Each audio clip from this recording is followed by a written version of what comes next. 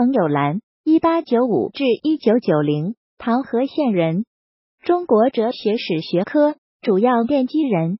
一九五五年当选中国科学院学部委员及院士前身。二陈凤彤，一八九七至一九八零，内乡县人，农业经济学家。一九五五年当选中国科学院学部委员。三冯景兰，一八九八至一九七六，唐河县人，冯友兰之弟，地质学家。一九五六年当选中国科学院学部委员。四杨廷宝，一九零一至一九八二，万城区人，建筑学家。一九五五年当选中国科学院学部委员。武丁生树，一九零九至一九八九，邓州市人，语言学家。一九五五年当选中国科学院学部委员，曾主持编写现代汉语词典。六张丙戌，一九一九至二零零零，社旗县人。地质学家，一九八零年当选中国科学院学部委员。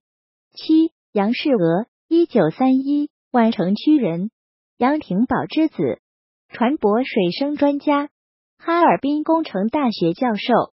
一九九五年当选中国工程院院士。八于永富，一九三二南诏县人，选矿工程专家。一九九五年当选中国工程院院士。九朱晓东，一九三二西川县人，心血管外科专家。一九九六年当选中国工程院院士。十张永传，一九三五万城区人，水利发电工程专家。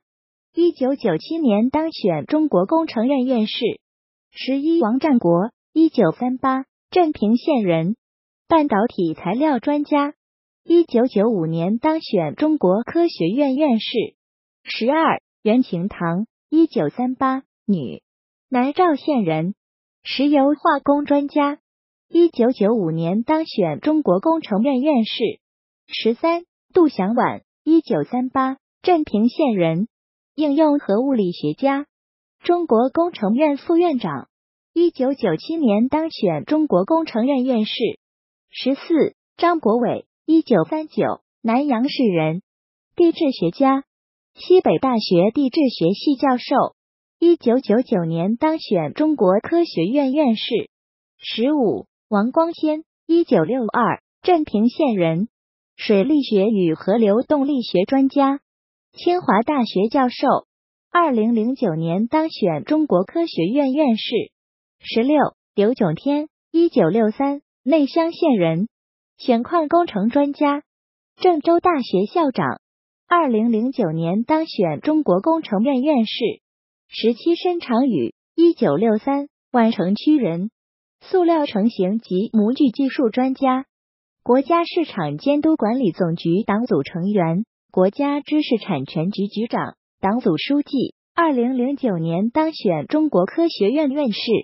十八张清杰，一九五八西峡县人。材料科学专家，武汉理工大学校长，二零一七年当选中国科学院院士。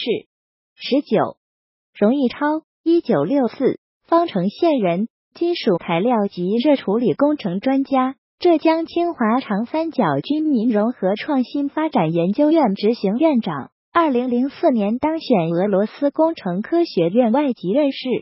以上十九位当中。有中国科学院院士十二名，中国工程院院士六名，俄罗斯工程科学院院士一名。其中，冯友兰、冯景兰为兄弟院士，杨廷宝、杨世娥为父子院士。如果喜欢本视频，请分享并订阅本频道，别忘了按赞我。